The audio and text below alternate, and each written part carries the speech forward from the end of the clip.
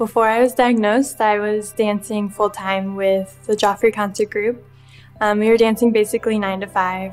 Back in February of 2014, I noticed a lump in my left breast, and originally I just thought it was a muscle knot. It just hurt to do everything, but I still didn't tell anyone. I wanted to perform in New York and just keep dancing. By the last show, I couldn't move my arm, but I still performed. I had to perform. My breast cancer spread to my lymph nodes and my bones, and it's terminal, so that means I'm incurable. I'm in treatment for the rest of my life. No one's immune, no one's too fit, no one's too young. Anyone can get breast cancer at any age. I've always hated my boobs. I was larger than a normal ballet dancer. So I always had to pin and make sure like I was secured and I was finally like I can get rid of them. So I, I told him right away I wanted a double mastectomy.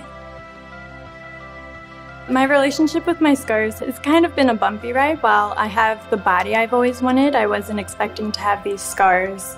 About a week after I was diagnosed, I was starting to get really depressed, and the teacher who taught that class said, Well, why don't you start a blog? It might be a good way for you to express yourself. So I was just like, What if I call myself like the bald ballerina or something? And it was like a light bulb.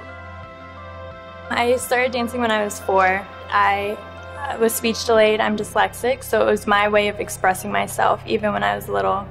I've done like a 180. I've become more confident and I talk more and I put my foot down more. I say no. And I've also learned to say what's on my mind. Because again, I don't know what tomorrow has in store for me. So I don't want to bottle up my emotions and not say what I really feel. The day after I was diagnosed, I was right back in the studio. I was dancing all through my chemo treatments, and when I had my surgery, I, the first thing I asked was, When can I get back in the studio? I've really learned to live in the moment and take advantage of everything that's coming my way.